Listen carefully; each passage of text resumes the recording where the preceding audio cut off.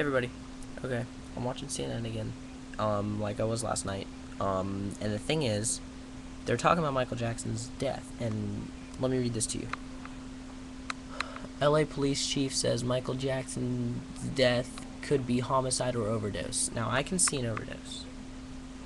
Um, homicide, not so much, because wouldn't they have to find wounds on him?